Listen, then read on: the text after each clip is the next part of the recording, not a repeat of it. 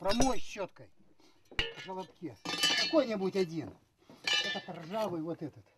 Глава семьи Владимир Виноградов собирается в лес за березовым соком. Его провожает супруга Надежда, готовит банки и марлю, а также инструменты.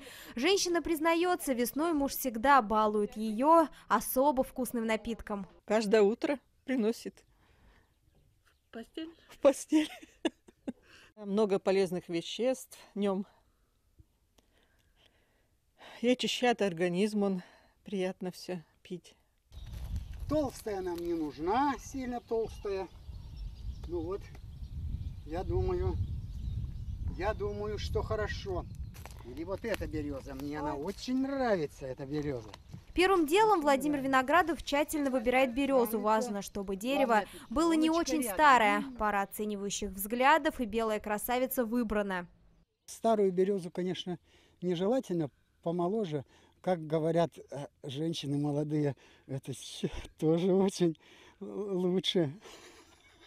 Вырежете. Вот.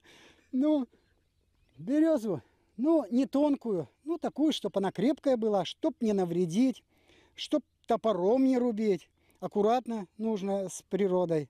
Потому что природа – это наша жизнь. В общем, если мы, как мы к ней, так и она к нам. Главное не навредить, говорит Владимир. Березу ни в коем случае нельзя рубить топором и не нужно глубоко сверлить, ведь сок находится сразу под корой. Вот дошли до дерева, пошла стружка. Значит, все, останавливаемся. Вот смотрим. Есть сокодвижение. Вот оно пошла. Вот он пошел сок. Как правило, березовый сок начинает бежать, когда тает снег и набухшие почки. Первый знак, что пора собирать этот напиток. Сбор березового сока прекращается, когда распускаются листья. Польза сока была замечена еще нашими предками. Секреты лечения этим напитком передаются из поколения в поколение. Он имеет целебный состав. Ведь береза – одно из самых полезных деревьев нашей планеты. Говорят, лечебный, помогает, да. Вот сок, сок. Как яблоко, это Адамовое, вот это сок любви. Понимаете, как весна приходит, прямо я жену свою так часто вспоминаю, как попью сок. Прямо беда. Люблю очень.